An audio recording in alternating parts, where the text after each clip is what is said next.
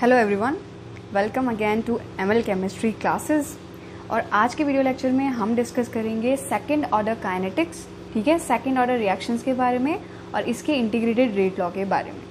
अब इस टॉपिक को स्टार्ट करने से पहले एक चीज़ समझ लेते हैं कि सेकेंड ऑर्डर रिएक्शंस होती क्या हैं, ठीक है? थीके? देखो ज़ीरो ऑर्डर और फ़र्स्ट ऑर्डर हम पढ़ चुके हैं पहले, ठीक है? सेकेंड ऑर्डर का मीनिंग सिंपली अगर समझा जाए तो क्या होगा?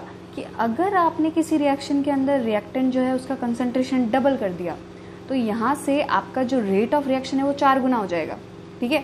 अगर आपने तीन गुना कर दिया, ठीक है तो आपका जो रिएक्शन का रेट है वो नाइन टाइम्स बढ़ जाएगा, यानी हर बार क्या हो रहा है? स्क्वायर से बढ़ता जा रहा है, ठीक है? तो उस चीज़ को आप बोलोगे सेकेंड ऑर्डर रिएक्शन ठीक है? और अगर सिंपली रेट लॉ के टर्म्स में बोला जाए तो ऐसा रिएक्शन जिसके अंदर जो रेट होता है रेट ऑफ़ रिएक्शन ठीक है, वो किसके ऊपर डिपेंड करता है? के इंटू सपोज़ आपका रिएक्टेंट ए है, ठीक है? उसकी कंसंट्रेशन की पावर टू के ऊपर। क्योंकि देखो रेट एक्सप्रेशन के अंदर, ठीक है कंसंट्रेशन ऑफ़ रिएक्टेंट का जो भी पावर होता है, उसी को हम ऑर्डर ऑफ़ रिएक्शन बोलते हैं, ठीक है? तो यहाँ से मेरा जो ऑर्डर ऑफ़ रिएक्शन है, ठीक है, ये होगा टू तो ये हो गई सेकेंड ऑर्डर रिएक्शन की डेफिनेशन फाइन अभी हम इसके लिए डिस्कस करते हैं कि किस तरीके से हम इंटीग्रेटेड रेट लॉ इसके लिए निकालेंगे। तो देखो, सबसे पहले हम क्या करते हैं जस्ट अज्यूम करो एक रिएक्शन है हमारे पास में। अच्छा सेकेंड ऑर्डर की जो काइनेटिक्स है, उसको निकालने के दो तरीके हो सकते हैं, ठीक है? जैसे अगर आप ट्वेल्थ लेवल की बात करो बोर्ड लेवल की तो बोर्ड लेवल के अंदर सेकेंड ऑर्डर काइनेटिक्स बिल्कुल भी नहीं है, ठीक है? लेकिन जो बच्चे नीट की प्रिपरेशन कर रहे हैं जेई एडवांस और मेंस की प्रिपरेशन कर रहे हैं, उनके पास में सेकेंड ऑर्डर काइनेटिक्स ज़रूर आएगा।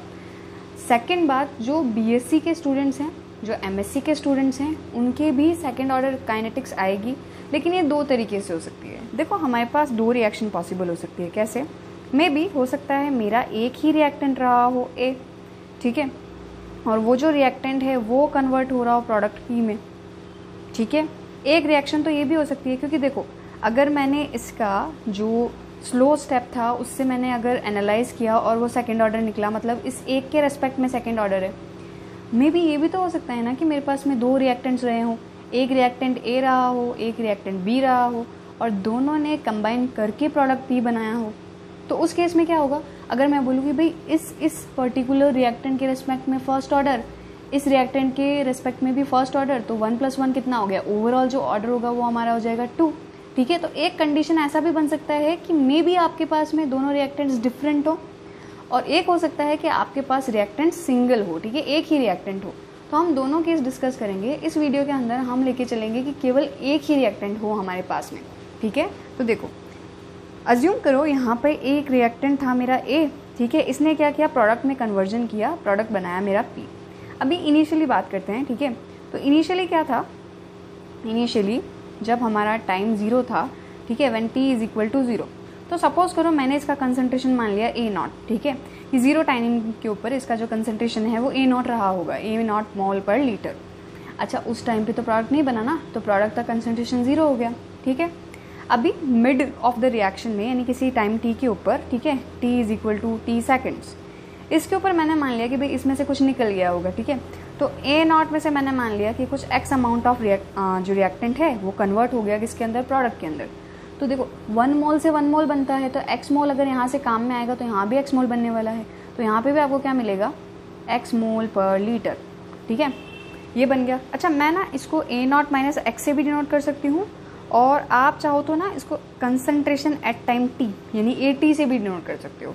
ये टोटली आपका चॉइस है कि क्वेश्चन में किस तरीके से दिया हो। मे बी आपको प्रोडक्ट का कंसंट्रेशन दिया हो। तब आप क्या करोगे? इनिशियल कंसंट्रेशन में से प्रोडक्ट का कंसंट्रेशन माइनस कर दो। और मे बी आपको टी टाइमिंग के ऊपर बचा कुचा कंसंट्रेशन दे दिया तो फिर आपको प्रोडक्ट के कंसंट्रेशन की नीड नहीं है। तो आपको दोनों के लिए प्रिपेयर रहना चाहिए, ठीक है? तो ये मैंने दो कंडीशंस यहाँ पे मान ली। अभी हम क्या करते हैं ना, इसका रेट ऑफ़ रिएक्शन लिखते हैं दो टर्म्स में। कैसे? देखो, एक लिखते हैं हम डिफरेंशियल लॉ के फॉर्म में, ठीक है? Rate in the form of in the form of differential law ठीक है? डिफरेंशियल रेट लॉ तो उसके फॉर्म में कैसे लिखा जाएगा? देखो, दो तरीके से लिख सकते हैं। एक तो हमारे रिएक्टेंट का कंसंट्रेशन टाइम के साथ कैसे कम हो रहा है वो, या हमारा प्रोडक्ट का कंसंट्रेशन टाइम के साथ कैसे बढ़ रहा है वो। दो तरीके हैं। तो मैं रिएक्टेंट के फॉर्म में ले लेती हूँ।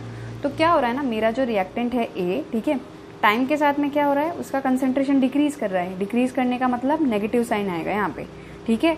तो D change in concentration of reactant A divided by D T ठीक है? ये तो हो गया अपना डिफरेंशियल रेट लॉ के फॉर्म में। इसको मैंने दे दिया इक्वेशन नंबर वन अच्छा आगे क्या करते हैं? हम इसको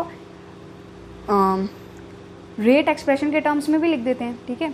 तो एक तो हो गया ये, दूसरा क्या करते हैं? इसको लिखते हैं रेट एक्सप्रेशन के टर्म में। So in the terms of rate expression ठीक है? रेट एक्सप्रेशन के टर्म्स में। देखो रेट एक्सप्रेशन के टर्म्स में क्या होगा? सेकेंड ऑर्डर काइनेटिक्स है ना, जो मैंने ऊपर भी बताया था अभी तो यहाँ से रेट क्या निकलेगा? Rate is equal to K which is rate expression into concentration of reactant का पावर टू ठीक है? तो ये ये भी मेरा रेट ऑफ़ रिएक्शन है, ये भी मेरा रेट ऑफ़ रिएक्शन है। तो दोनों रेट ऑफ़ रिएक्शन है तो दोनों को मैं इक्वल कर दूँ? मैं इसको देती हूँ इक्वेशन नंबर टू तो दोनों को अगर इक्वल कर दिया जाए तो यहाँ से मुझे क्या मिलेगा? कि minus of change in concentration of reactant with time which is equal to K A raise to the power two ठीक है? अब क्या करते हैं? बिल्कुल ईजी है, आगे तो मैथमेटिक्स का रोल है। डी को शिफ्ट करो इधर ए स्क्वायर को शिफ्ट करो नीचे। तो यहाँ से आपको मिलेगा माइनस डी ए ठीक है? Divided by A square is equal to ये ए का स्क्वायर है, ठीक है? Is equal to K D T एक काम करते हैं माइनस को इधर शिफ्ट करते हैं। तो यहाँ से हमको मिलेगा डी ए ठीक है? एक काम करती हूँ, मैं इसको ना वी वन अपॉन ए स्क्वायर लिख देती हूँ। Is equal to minus K D T fine अभी कर दो इसका इंटीग्रेशन ठीक है? तो इंटीग्रेटिंग बोथ साइड्स अच्छा यहाँ पे हम एक काम करते हैं, हम लिमिट लगा के करते हैं डेफिनेट इंटीग्रेशन तो मेरा जो रिएक्टेंट है, ठीक है? इधर देखना एक बार। यहाँ पर ये जो कंसनट्रेशन है, ठीक है, ये कब है? जब टाइम ज़ीरो था। तो इसको मैं ए नॉट से भी डिनोट कर सकती हूँ। ए नॉट ठीक है? और यहाँ पे कंसनट्रेशन कब है? जब टी टाइमिंग है, ठीक है? तो इसको हम कैपिटल ए टी से भी डिनोट कर सकते हैं। देखो, ये आपका चॉइस है।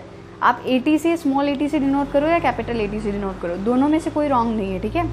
तो मैंने ज़ीरो टाइमिंग पे तो कंसनट्रेशन लिया है ए नॉट और टी टाइमिंग पे मैंने कंसनट्रेशन लिया है ए टी इसको पुट करेंगे, यानी हमारी लिमिट लगेगी ए नॉट से ए टी कंसनट्रेशन के लिए और टाइम की लिमिट लगेगी ज़ीरो से टी सेकेंड तक।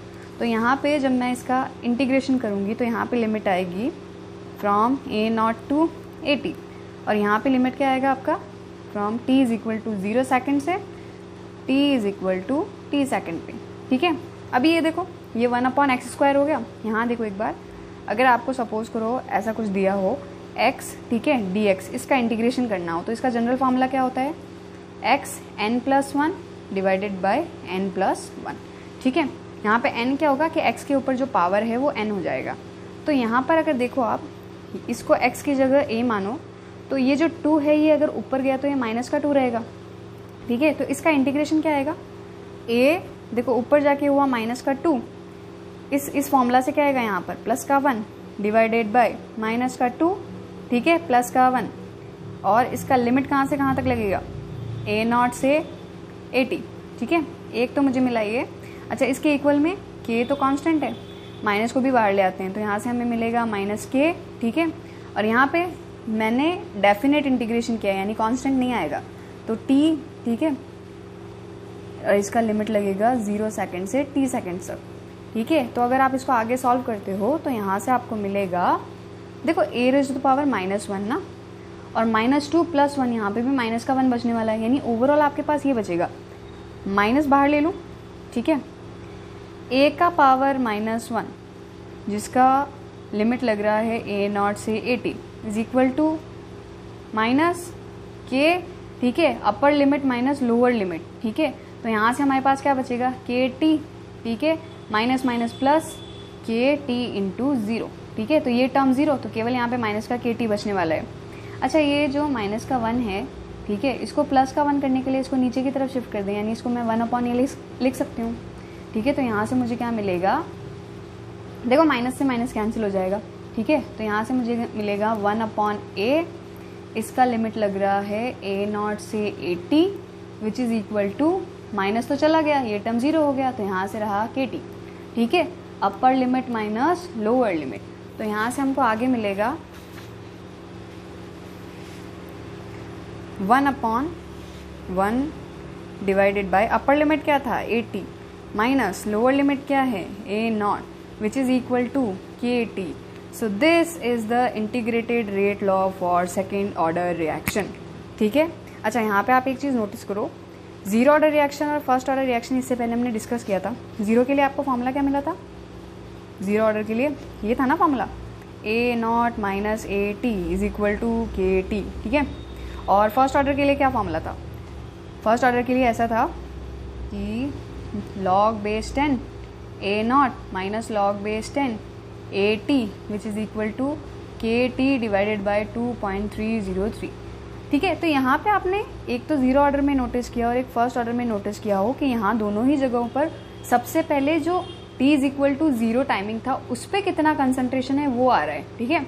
अब अगर आप यहाँ पे देखो तो यहाँ पे पहले कौन सा टर्म आ रहा है? टी टाइमिंग के ऊपर, ठीक है? उस टाइमिंग के ऊपर आपका कंसंट्रेशन कितना बच गया था? और ये सही भी है। रीज़न देखो टी टाइमिंग पे कंसंट्रेशन कुछ कम रहेगा तो ये टर्म बड़ा आएगा।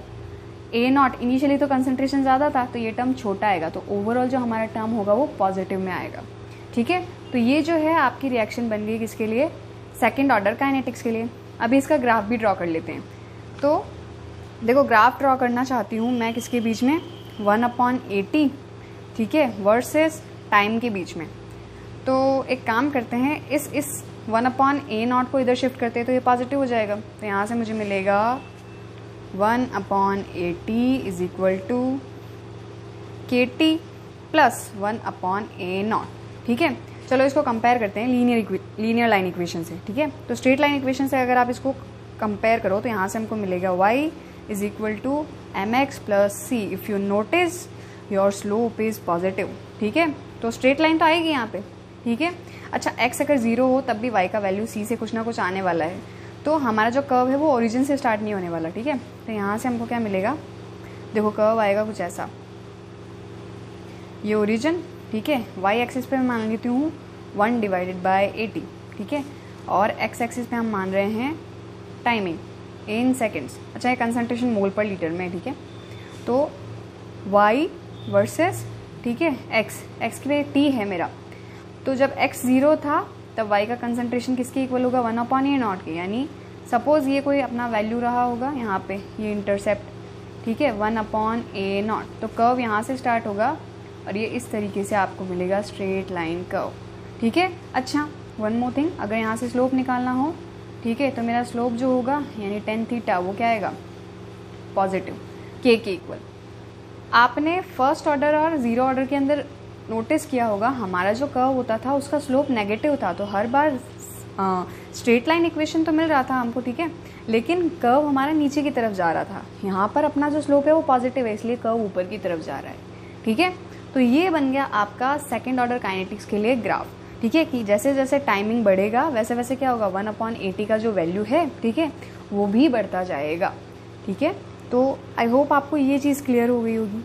ठीक है? अभी इसके अंदर ना हम